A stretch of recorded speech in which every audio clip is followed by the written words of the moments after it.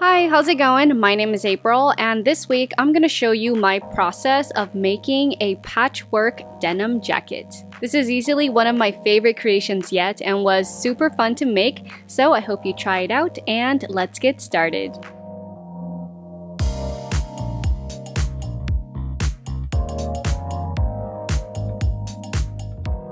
Here are some photos of jackets I saw online that inspired me. I like the one with white patches, but I also want mine to look more shredded up and edgy like the other jackets.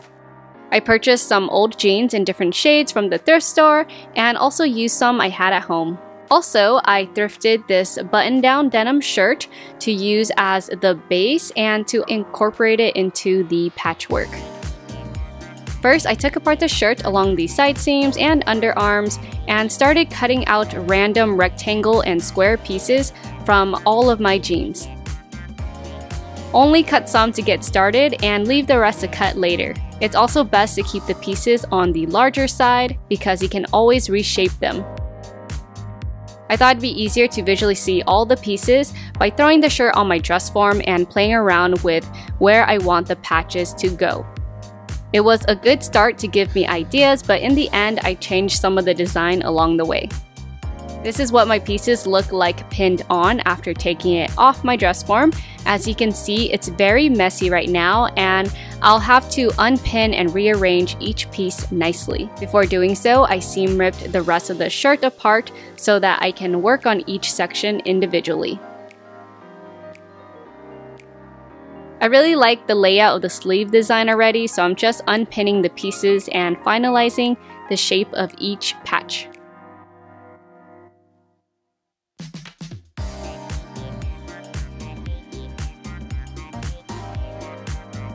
Some pieces I will sew right side together first for a clean look, and other pieces I will leave the edges raw so it frays.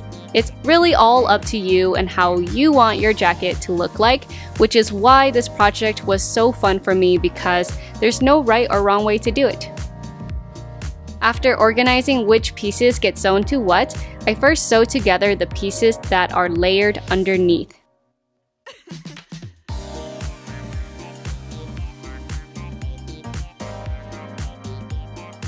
Next, I flatten each piece out and pin it to the edges of the sleeve so I can flip it over and trim the excess fabric away. Once I cut the shape of the sleeve out, I went ahead and trimmed the sleeve base away in any areas that it's not needed because I don't want the jacket to be so heavy and thick.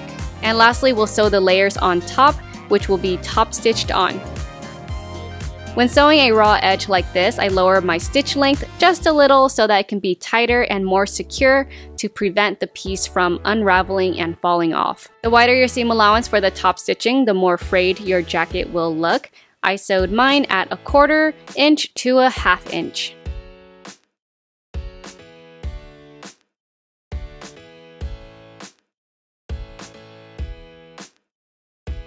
Yay, we have one sleeve down and one more to go. I'm gonna move forward and demonstrate the front of the jacket now, so here's what my second sleeve ended up looking like.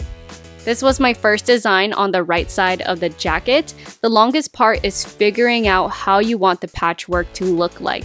After rearranging all the pieces around, I found it was easier if I worked on both front pieces at the same time, that way I can see it as a whole. Pin the patchwork onto the shirt, trim the excess fabric away, and then I top stitch the rest down.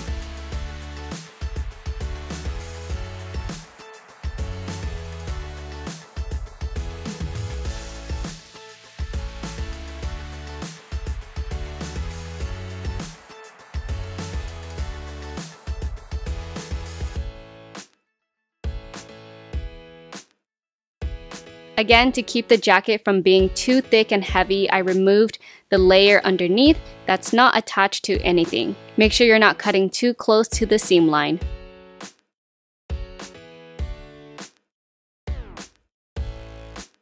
Now we can sew the top layer of patches. I'm adding a pop of white at the side and sewing the original pocket back on.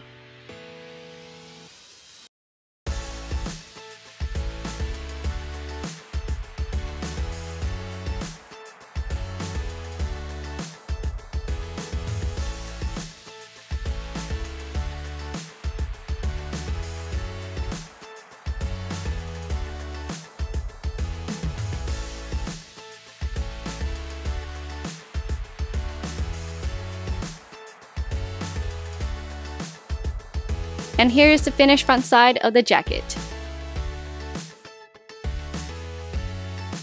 Lastly, the backside. This was the most challenging to figure out because it was such a big area to work with.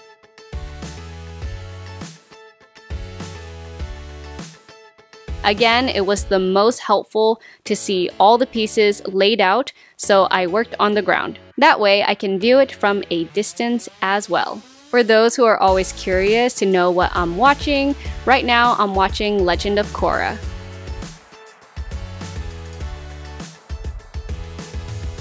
Repeat the sewing process.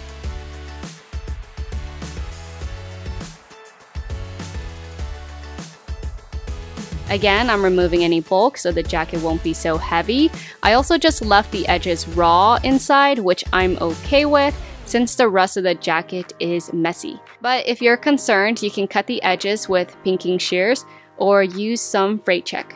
I'm gonna have to see how well it holds up after a wash, but I also think it'll be best to only spot clean a jacket like this.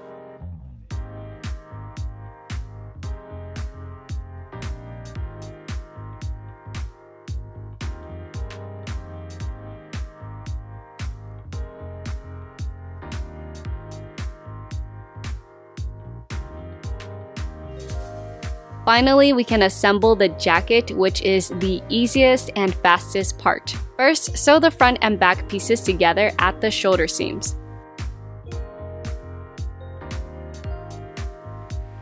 Next, pin the sleeves to the armhole and sew them together.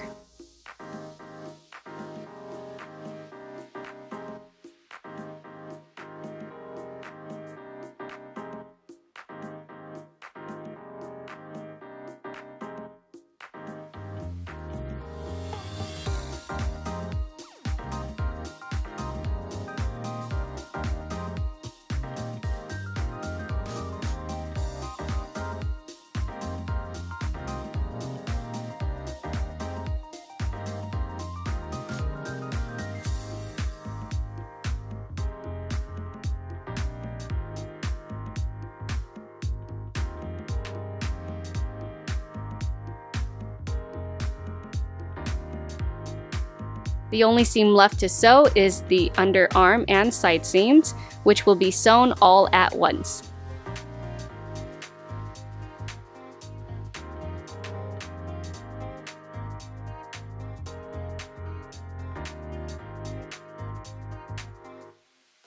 The very last thing is the neckline.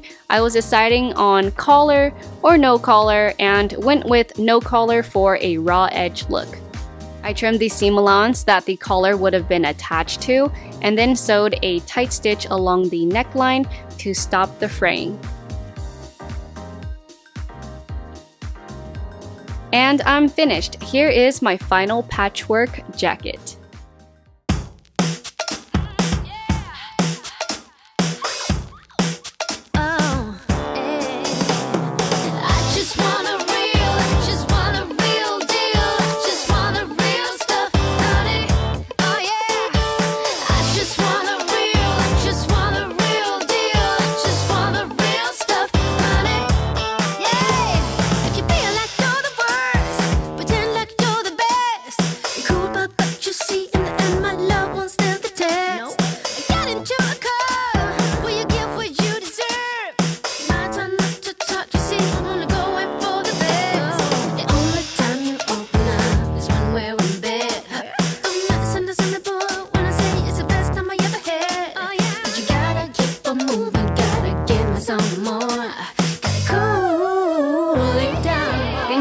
Much for watching. This is such a cool way to recycle old jeans or any scrap fabric.